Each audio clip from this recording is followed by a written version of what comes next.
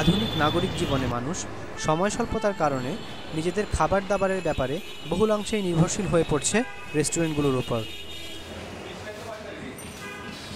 আবার অনেকে নিরুপায় হয়ে দ্বারস্থ হচ্ছেন এসব রেস্টুরেন্টগুলোর। হচ্ছে কি আপনার আমাদের এই যে নগর জীবনের ব্যস্ততা, এটাও একটা কারণ, যে কারণে আমরা ঘরে খাওয়াটাই আসলে খুব কম হয়।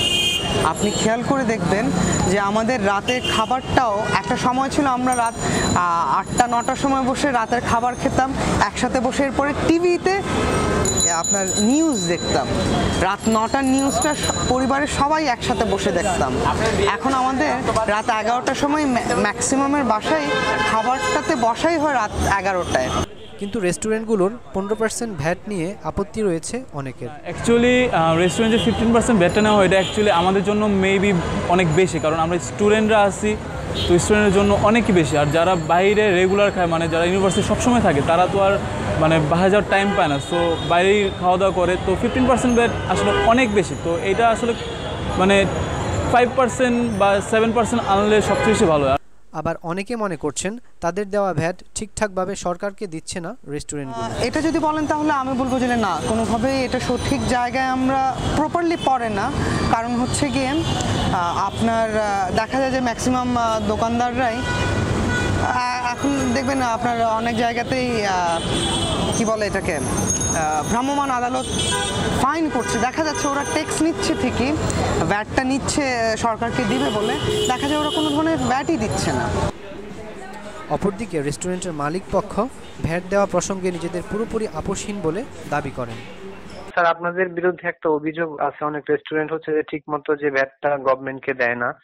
মানে এই ব্যাপারটা নিয়ে আর কি স্যার যদি একটু বলতেন। আমার জানার মতে এরকম কেউ নাই। যে ভ্যাট দেয় না। যদি কেউ দিয়ে থাকে এরকম ব্যাপার যদি আমাদের নজরে আসে তাহলে সেরকম ব্যবস্থা নেব। আর যদি না দিয়ে থাকে সেটা বিচ্ছিন্ন ঘটনা। সবারই দেওয়ার কথা। অন্যদিকে তীব্র প্রতিযোগিতার কারণে নিজেদের ব্যবসায় তেমন সুবিধা করতে পারছেন না বলে জানান অধিকাংশ ব্যবসায়ী যার ফলে অনেকেই তাদের ব্যবসা গুটিয়ে নিতে বাধ্য হচ্ছেন। রেস্টুরেন্ট বিজনেস বলতে কারোই ভালো যাচ্ছে না খুব বেশি। কয়েকটা কোম্পানি যারা দেখা যাচ্ছে আহ, ভালো করতেছে বাট ম্যাক্সিমাম কোম্পানি লসে আছে। কেউ জাস্ট টিকে থাকার জন্য অফার ক্রিয়েট করে সাস্টেন করতেছে আর কি। ধানমন্ডি দেখেন অনেক রেস্টুরেন্ট অনেক রেস্টুরেন্ট এত রেস্টুরেন্টে আসলে কয়জন যাবে সেলটাও তো করা দরকার এবং সেলের উপরে লাভ আসে।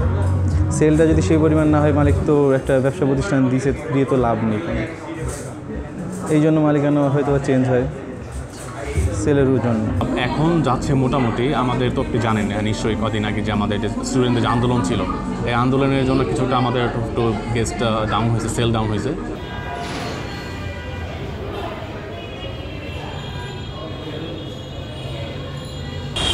নগর জীবনের ব্যস্ততা এড়াতে অধিকাংশ মানুষ নিজেদের খাবারের ক্ষেত্রে বেছে নিচ্ছেন নামি দামি রেস্টুরেন্টগুলোকে কিন্তু নামি দামি রেস্টুরেন্টগুলোর অত্যাধিক ভ্যাটের কারণে মানুষের মধ্যে বিরাজ করছে এক ধরনের অসন্তোষ।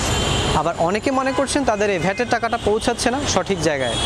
অপরদিকে ব্যবসায়ীদের অভিযোগ, বাজারে অত্যাধিক প্রতিযোগিতা হওয়ার কারণে ঠিকঠাকভাবে হচ্ছে না তাদের ব্যবসাটাই। যার ফলে ঘন ঘন পরিবর্তিত হচ্ছে ব্যবসা প্রতিষ্ঠানগুলোর মালিকানা। এতে করে সব মিলিয়ে ক্ষতিগ্রস্ত হচ্ছে তাদের ব্যবসা। রাকিব আল জাভেদ ঢাকা।